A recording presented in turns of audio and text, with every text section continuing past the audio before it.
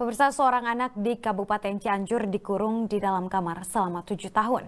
Keluarga sengaja tidak mengeluarkan korban dari dalam kamar karena mengalami keterbelakangan mental.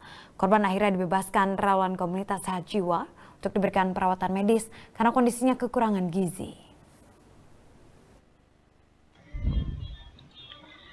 Beginilah video amatir yang direkam salah satu relawan komunitas sehat jiwa saat membebaskan Yudi Gunawan, anak berusia 13 tahun yang dikurung di dalam kamar selama 7 tahun di rumahnya di Kampung Cicadas, Desa Cicadas, Kecamatan Cijati, Kabupaten Cianjur.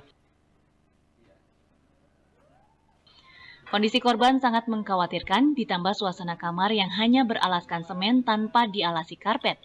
Video tersebut menunjukkan korban sangat lapar dengan kondisi tidak mengenakan pakaian sehelai pun. Korban akhirnya dibebaskan tim relawan komunitas sehat jiwa Kabupaten Cianjur setelah bernegosiasi dengan keluarga.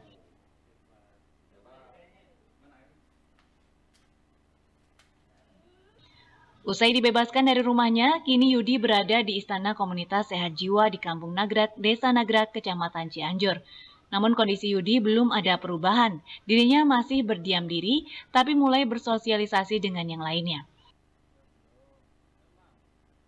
Menurut pembina Yayasan Komunitas Sehat Jiwa Cianjur, Nur Hamid Karna Atmaja, keluarga Yudi sudah membawa korban ke Rumah Sakit Cianjur serta ke Rumah Sakit Jiwa Marzuki Mahdi di Bogor. Namun tidak ada perkembangan.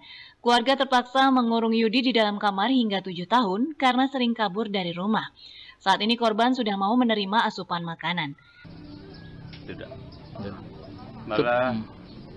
kakaknya, hmm. dua kakaknya, bibinya, hmm. pamannya, semua mendukung hmm. karena merasa syukur ada yang mau ngobatin dan ngurus. Itu dia uh, alasan dari keluarga sendiri kenapa sampai di tujuh tahun dalam ruangan atau dipasung itu? Uh, selalu keluyuran. Hmm.